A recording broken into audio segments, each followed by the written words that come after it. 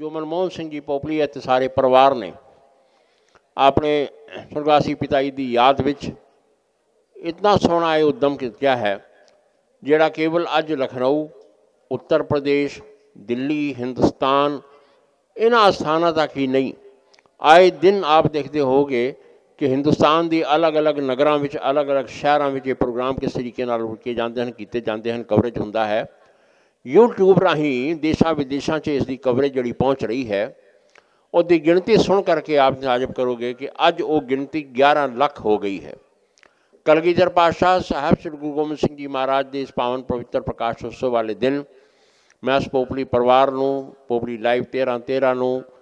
ਇਹਨਾਂ ਨੂੰ ਲੱਖ ਲੱਖ ਵਧਾਈਆਂ ਦਿੰਦਾ ਹਾਂ ਔਰ ਗੁਰੂ ਦੇ ਚਰਨਾਂ ਵਿੱਚ ਅਰਦਾਸ ਕਰਦਾ ਹਾਂ ਕਿ ਸੱਚਾ ਪਾਤਸ਼ਾਹ ਇਹਨਾਂ ਨੂੰ ਸੇਵਾ ਦਾ ਉਦਮ ਬਖਸ਼ੇ ਨਿਰਮਾਣਤਾ ਬਖਸ਼ੇ, ਇਸੇ ਤਰੀਕੇ ਨਾਲ ਸਾਧ ਸੰਗਤ ਦੀ ਸੇਵਾ ਕਰਦਿਆਂ ਦੇਸ਼ਾਂ ਵਿਦੇਸ਼ਾਂ ਵਿੱਚ ਰਹਿੰਦੇ ਹੋਏ, ਹਿੰਦੁਸਤਾਨ ਵਿੱਚ ਰਹਿੰਦੇ ਹੋਏ, ਸਾਰੇ ਸਿੱਖ ਭਰਾਵਾਂ ਨੂੰ, ਧਰਮਾਂ ਦੇ ਮਨਾਉਣ ਵਾਲਿਆਂ ਨੂੰ ਇਹ ਇਸ ਤਰੀਕੇ ਦੇ ਪ੍ਰੋਗਰਾਮ ਜਿਹੜੇ ਹਨ, ਲਗਾਤਾਰ ਕੀਰਤਨ ਕਥਾ, ਧਾਰਮਿਕ ਆਯੋਜਨ ਦਿਖਾਉਂਦੇ ਰਹਿਣ।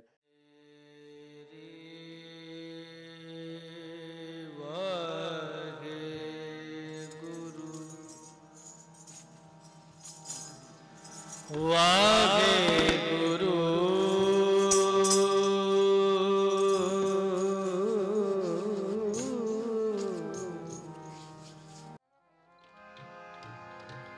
ਬਲਿਹਾਰੀ ਗੁਰ ਆਪਣੇ ਦਿਉਹਾੜੀ ਸਦਵਾਰ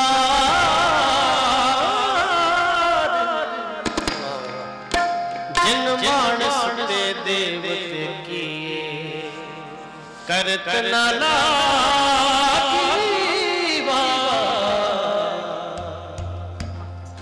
ಅಲ್ಲೇಹ